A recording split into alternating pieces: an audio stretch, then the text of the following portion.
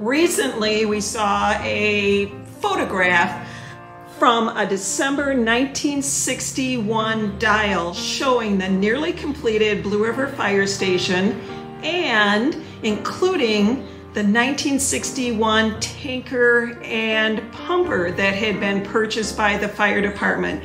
And I remember all through the years you telling me about a fire that you were involved in shortly after the purchase of those new trucks. What can you tell me? Well, the fire call came in that a fire in the pines. And so as soon as the crew got there, we took off, not knowing exactly where it was, but we saw the smoke come out of the pines. And so we turned by Puffin Rods and went down, I guess now called Pine Road, and we saw the fire. We had to go out across the sand, of course, to get out to the fire and to turn around and then back up. We had a pumper in there and started pulling the hoses out. The other truck came over the tanker and backing in.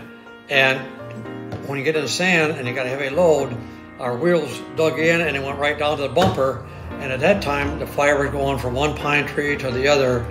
And it's kind of exciting to know what the next thing you're supposed to do, run or put the fire out or what.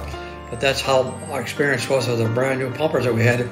We said we can't lose these brand new fire equipment because we just got them on a, on the staff just not very long ago. And so that was our experience we had in the plains with the fire. So other members that you recall that were there maybe at the time? Well, I'm pretty sure that Kenneth Eng was there and uh, uh, Jim uh, Tisdale. Jim Tisdale was there. And I'm trying to think who else might have been there. John?